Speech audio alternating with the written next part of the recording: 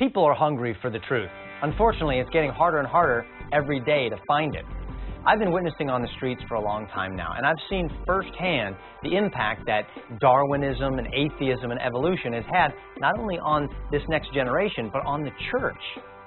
Well, it's time for the body of Christ to wake up and to get uh, busy about its primary purpose on the planet, and that is reaching the lost.